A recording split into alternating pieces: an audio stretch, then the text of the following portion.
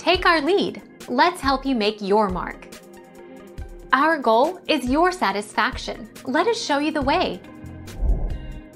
Some of the best examples of friendship in the boy in the striped pajamas is seen between Bruno and Shmuel. One such instance is when Bruno makes it a priority to visit Shmuel as often as he can. Bruno is noticeably dismayed when Shmuel is late or if he is unable to meet.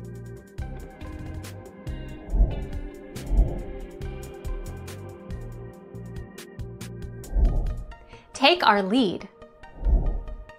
Bruno's first discovery of Shmuel is our own first impression. We both see a child who has been beaten from the experience of the Holocaust. He is unassuming, one who has learned to not possess the defining zeal and passion of childhood. Bruno meets Shmuel on the other side of the fence, simply being,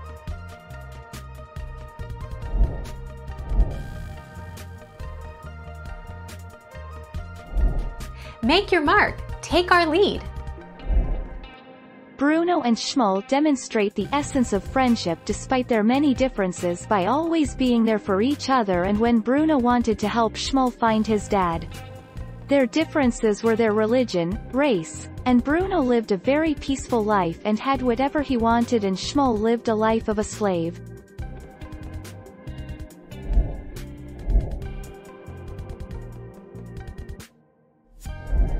Take our lead. Let's help you make your mark. Sitting around miserable all day won't make you any happier. Despite the mayhem that followed, Bruno found that he was still holding Shmuel's hand in his own and nothing in the world would have persuaded him to let go. Thank you for watching. Please subscribe and hit the bell notification.